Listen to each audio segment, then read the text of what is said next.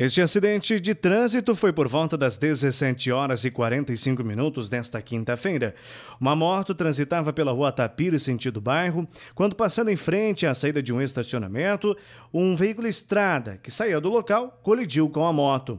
O motociclista, com impacto, foi arremessado ao chão e sua moto seguiu desgovernada até colidir com um veículo Jeep, conduzido no momento por uma mulher que nada sofreu.